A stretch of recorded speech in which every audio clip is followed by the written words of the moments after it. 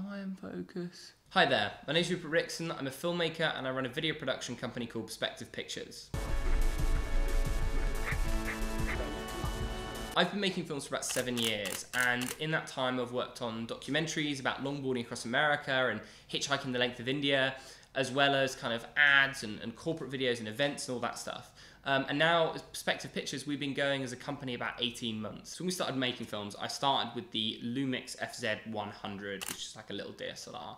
Uh, and, and, over time, we've kind of slowly worked our way up, going to the 5D Mark II, and the GH4, and now we're shooting with predominantly the, the Sony a7S Mark II which we love, but now we are kind of in that top band of DSLR, and, and as a company, we're feeling increasing pressure to upgrade to, to something a little bit more substantial. To us, big, these bigger cameras are a whole nother world, which actually seems in a lot of ways quite daunting.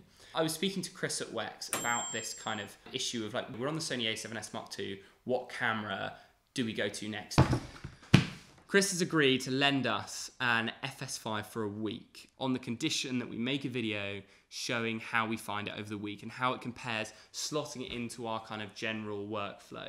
In the bag, we've got an FS5, but that is really not very heavy. Canon 24 to 105 millimeter lens, a few extra batteries, Metabones speed booster. Oh. We've got some really interesting shoots on um, I think hopefully we're really going to put this camera through its paces. Here we go. Excited. So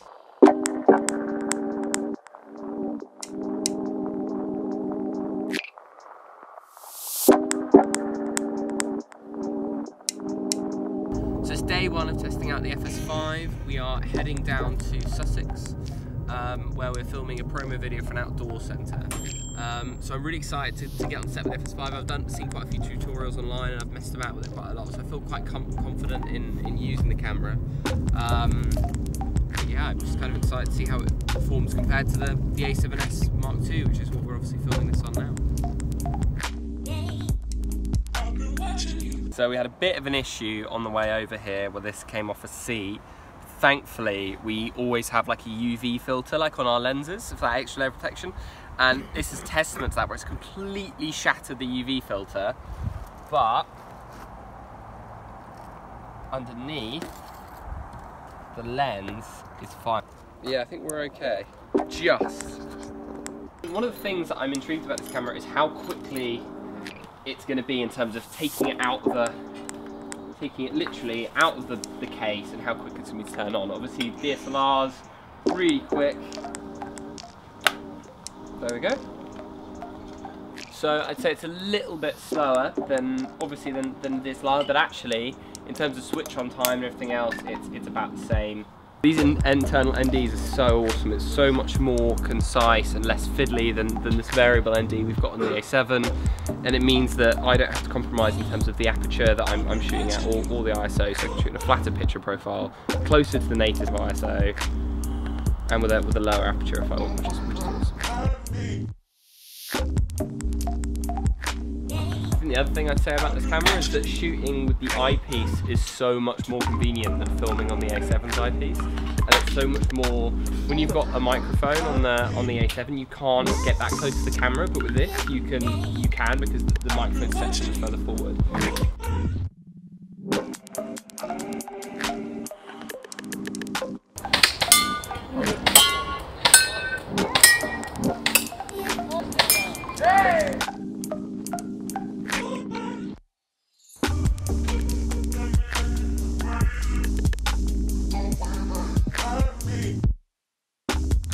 So we've done some filming in this archery range, we've got some full motion shots, and now we want to get some slow-mo of arrows hitting those targets.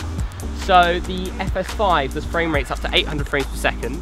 Um, and from 100 frames per second, you have to use the trigger mode. So it means that once you've got the shot and the actions happen, you press the button, and the eight seconds before you press the button becomes your slow motion shot. So what we're gonna do is we're gonna start at 100 frames per second and work our way up because the image kind of gradually gets a bit worse uh, and we're to see like kind of what level we would say that the kind of the, the, frame rate is usable for like a commercial client like this. So yeah, so I'm to set the shot. These guys are to fire some arrows, and then I'm to run out and press the trigger. Let's just kind of see how it looks, shall we?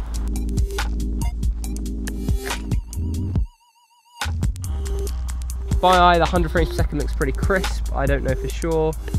Let's, we're just waiting for the arrow. So as you can see from the image here, 100 frames per second is pretty crisp and I'd be very confident using it for commercial shoot.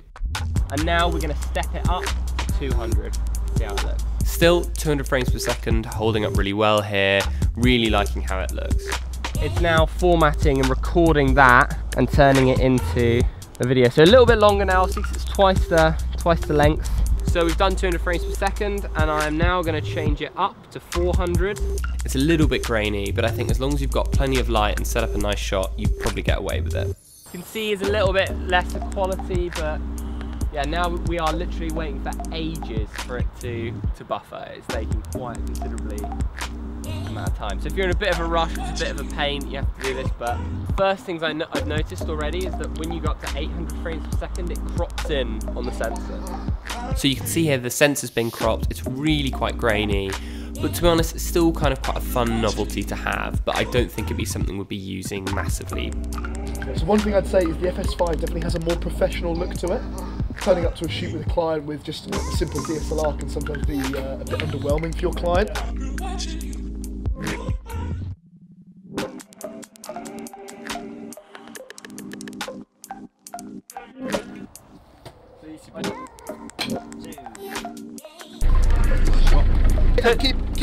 There you go. Bit grilling. Bit grill and shake. Yeah, hold it there for a second.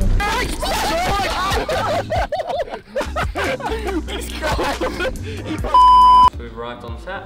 Um, this company Igloo, um, and we are filming a kind of classic kind of quick promo video. I'm excitingly managed to fit, fit the FS5 in a very small camera bag, um, and then literally it takes seconds just to put it together.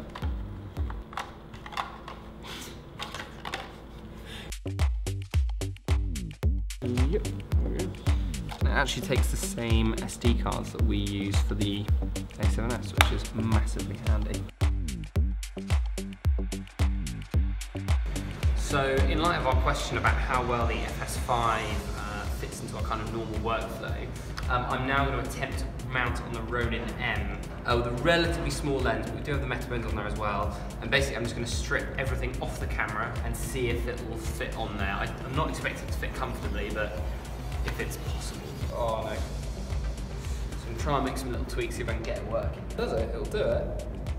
So we've, uh, we've just done some shots on the gimbal. All, all looked kind of quite good. It did start to kind of tip. The moment we've got a full-size battery in it and we've got this lens with an adapter. So I probably, you probably get away with it much better if you had a prime lens or a pancake lens and then one of the smaller batteries, you'd probably be all right. The motors have had to work really hard. So it died a couple times and the heat on the sides here but if you're going for these bigger cameras and you're using this kit every day, then I would probably suggest investing in a bigger Ronin. Or if the budget allows, just hire one. But um, yeah, in short, it works. Not to the standard perhaps you'd, you'd like it to. So the Igloo's a shared immersive 360 cinema. Uh, the projection's all around you. So our shared environments allow you to naturally discuss and gesture in the environment, and we support a large, ever-growing range of common tools uh, that allow you to view and analyse the huge amount of spatial data that's being generated all the time. Where are we going, Ollie? We are currently driving to Oxford. Today we're going to be filming a series of city bikes called OFO bikes. The only difference being is that you can dock them and leave them anywhere, uh, as opposed to having to put them in a specific station. Are you excited? Hell yeah! So we've arrived at this very picturesque area of Oxford. Um, we are first of all going to go around Oxford and get some location shots. So we're actually going to film, get some time lapses on the GH4, and then the kind of wider, like normal kind of speed live action shots on the FS5. Um, and we're going to go live. We're just going to go two tripods, both the cameras, and then we're going to come back to the car, drive over to East Oxford, and then we'll be trying about.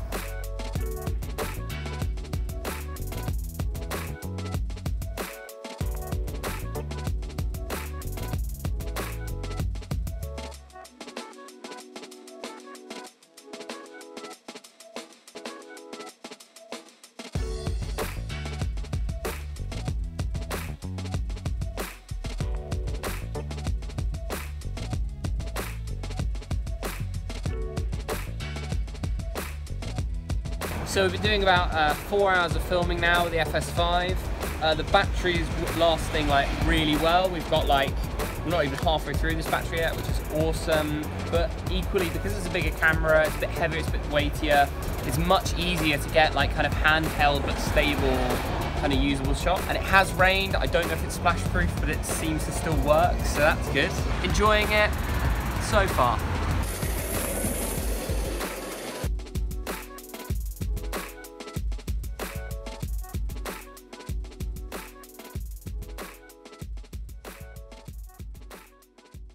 So we didn't really get the chance to film a whole lot of behind the scenes on this day, but one of the things I'd say is we found it super useful being able to plug our XLR microphone straight into the camera. It meant that our setup time and everything else was so much quicker, and I think the client was definitely a bit more impressed by the camera. How's the shoot going? Fantastic. FS5 has lasted the entire day on literally a single battery, so impressive stuff. Role here on Starship.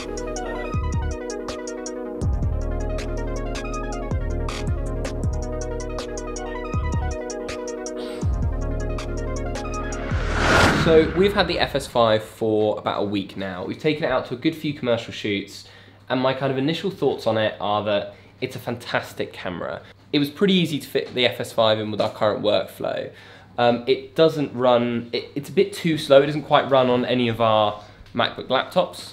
Um, it does run on our iMac, which we edit on as well, and it runs on this custom PC that we've built for editing beautifully. Um, the A7S has a full frame sensor and does really, really well in low light. Um, I think if we were going out to a shoot, we'd probably take both. Also, with the FS5, the file sizes aren't massive, so I don't see it having a huge impact on our kind of storage solution and, and how we manage our data and all the rest of it. So hopefully that's, you know, if you're in a similar position to us, hopefully that's been of some help.